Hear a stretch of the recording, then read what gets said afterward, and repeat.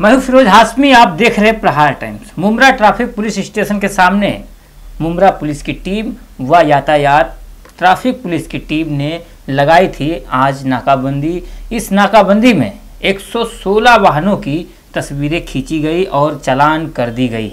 यानी online fine मार दिया गया। 116 वाहनों की मुमरा कौसा में चलने वाले ऑटो रिक्शा, मोटरसाइकिल व अन्य वाहने शामिल हैं।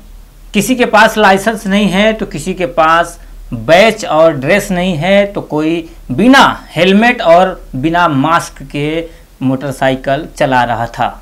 कुल मिलाकर दो घंटे की ये नाकाबंदी लगी थी और पैंतालीस हज़ार के आसपास ऑनलाइन फाइन मारा गया। यानी चलान की गई। आप तस्वीरें देखें किस तरह की नाकाबंदी। आज थाने पुलिस कमिश्नर के आदेश के बाद मुमरा पुलिस और यातायात ट्रैफ़िक पुलिस ने की थी। मात्र दो घंटे में पैंतालीस हज़ार की चालान की है। सुनिए क्राइम पीआई शिवाले ने क्या कुछ जानकारी दी है। आज हमारे जो एडिशनल सीपी है, उन्होंने आदेश दिया था कि शहर में जो भी ट्रैफ़िक की कार्रवाई करनी है, जो रिक्शा चालक है, वो ज़्यादातर अपना यूनिफॉर्म नहीं पहनते और इसमें से कुछ गलत काम भी हो सकता है। इसीलिए जो भी रिक्शा ड्राइवर्स हैं, उन्होंने अपनी यूनिफॉर्म पहननी चाहिए।